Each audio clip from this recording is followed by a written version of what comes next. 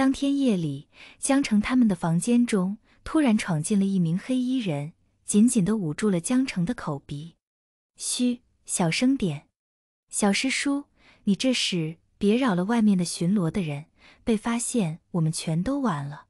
好，江城他们只能安静地点了点头，默默地望着魏无羡说道：“云梦江氏公子还休息，真的早啊。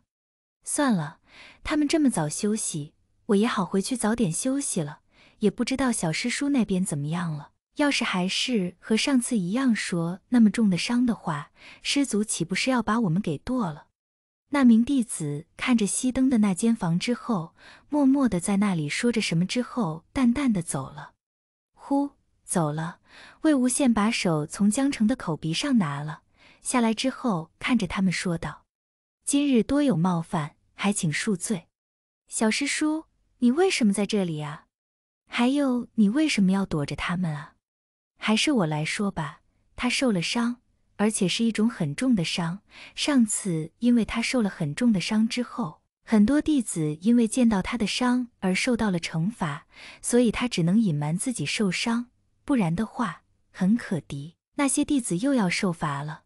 这次去清平镇，发现有一半温室的人正在屠杀百姓，当时我们的人来不及。去救公子的时候，公子是一个人杀了接近三千人的人，以至于他受了这么多伤。当我们赶到的时候，宗公子强撑着等我们到来，伤好了一点之后就立刻赶了。回来之后发现已经门禁了，他只能无奈躲进了你们这里，还请见谅。一名黑衣神秘人说道：“三千人，你到底是有多重的伤？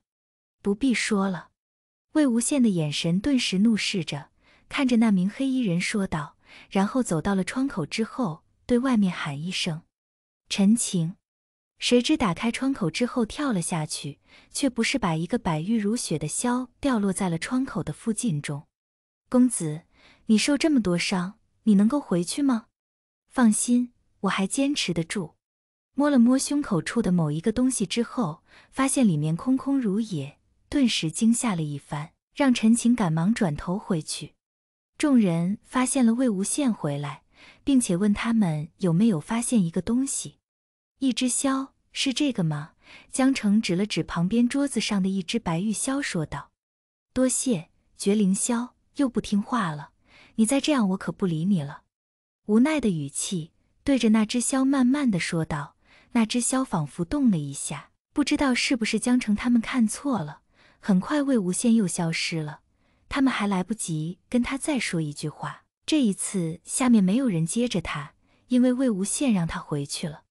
魏无羡紧紧地捂住那只带着伤的手臂，脑袋有些发晕，分不清方向的魏无羡，迷迷糊糊之间来到了一间房，带着淡淡的玉兰花香。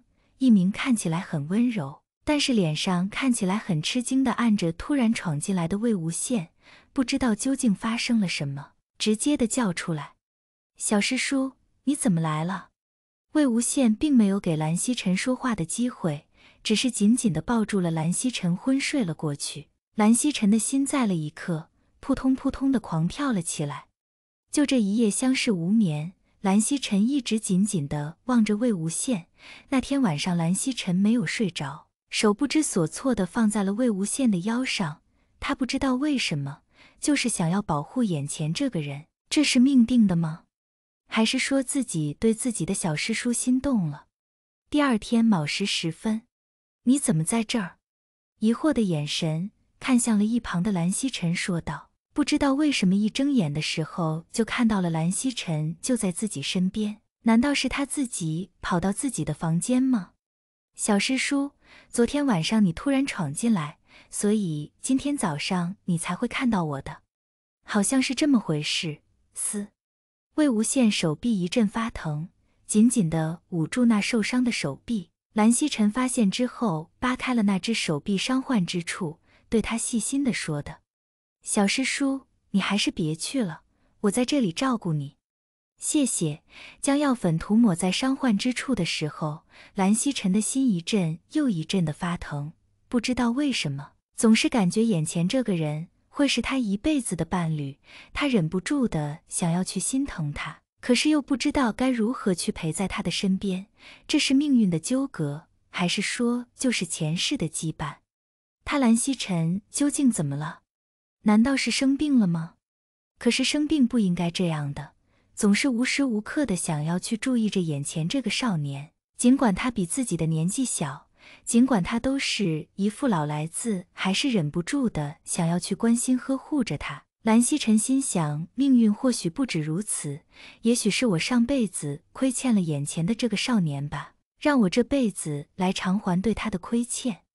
二，要不你还是去上学堂吧，不然很容易被发现的。好，我去上课的话，你能够照顾好自己吗？小师叔，蓝曦臣的目光紧紧地凝视着魏无羡，不知道自己走了之后，他能不能照顾好自己。笑话，魏无羡可是十多年都在外面住过的，他又岂会照顾不好自己？蓝曦臣的担心是多余的。可是魏无羡的心在哪一刻动了一下？不知道为什么魏无羡的心在那一刻动动了一下，仿佛因为眼前人的关心，我心软了。他承认眼前人是好，但是却也免除不了他曾经对自己的伤害。尽管自己心软了。尽管自己总是在对自己说：“你不要心软，你如果再心软的话，他们便会无视你的存在。”可是，心动的感觉真的会容易消失吗？他的眼睛睁大大的望着蓝曦臣的时候，不知道为什么总是能看出眼前这个人眼中的倒影是自己的那一刻时，他承认他不知道该怎么面对眼前的蓝曦臣了。明明是他们曾经伤害过自己。为什么要自己心软了？可是现在有他，为什么又要对自己这么好呢？记忆也许永远都不会再该有多好，这样就不会记得曾经他们有伤害过自己的。可是又时不时要想起过去他们对自己有多好。但是现在他想放弃了，可以吗？小师叔，究竟发生了什么？你为什么会受这么重的伤？你身上还有伤吧？把衣服脱了，我给你涂。我还是不去了，毕竟你有伤在身，一个人在这儿我不放心。不，不必了。就是那一刻，魏无羡的脸红了，他微微的撇过头，不再看向蓝曦臣。可是脸上的红润骗不了蓝曦臣。蓝曦臣清浅的笑意闯进了魏无羡的耳朵中。魏无羡有些恼羞成怒的看见了他，但是又不知道该怎么说他好。就这样怒视着看向了蓝曦臣的目光，但是就这样盯着他，却一不小心陷入他温暖的眼眸之中。蓝曦臣静静的看着他，笑着笑着，他的眼睛里全是魏无羡的影子，全是魏无羡恼羞成怒，嘟着嘴巴看向他的样子。他开怀的大笑了起来，他真的想不到，平时这样不怒自威的小师叔也有这么可爱的一面啊！小师叔的修为很神秘。甚至所有人都不知道他究竟修到了何等境界。可是看着眼前如此可爱的小师叔的那一刻时，他真的想说：“小师叔，你如果像往常一样的话，没人敢接近你；但如果是眼前这个样子的话，我想应该有很多人都愿意接近你吧。”去救人了，我也没想到他们会这么快的杀人。当我赶到的时候，已经有很多人都被遇害了。我拼尽全力的想要。护住每一个人的时候，总是有人在打扰我。最终，我把他们全部都救了下来。在那一刻，我觉得，也许救人是一种快乐，但是用另一种方法救着他们，却认为你在杀人。你不是在救他们，你是在害他们。魏无羡似乎陷入了某种回忆之中，他的声音充满着颤抖，但是他的话却比往常多了一些。魏无羡不知道为什么会这样说。但是蓝曦臣，你静静看着他，仔细分析着他的每一句话。他不明白为什么眼前这个人明明救了人，为什么不开心？还是说他救人的方法是错的吗？没有人会在意的吗？可是他不在乎，他只要眼前这个人平安，那么一切都值得。蓝曦臣不敢想象魏无羡前几天去救人的情景是那样的着急。但是临走的时候，还是吩咐着他们，让代课的人来给他们上课。他也在意着他们，生怕他们错过一刻的时间，想让他们学习自保的能力。但同时也要学会他们不在他们的身边的时候要如何自保。魏无羡总是在担心别人，却从来都不会在意过自己，眼中的苦涩深深地印在了蓝曦臣的眼里。蓝曦臣不明白为什么这样的魏无羡还是不能够让所有人喜欢他。明明做的已经够好了，他已经在努力了。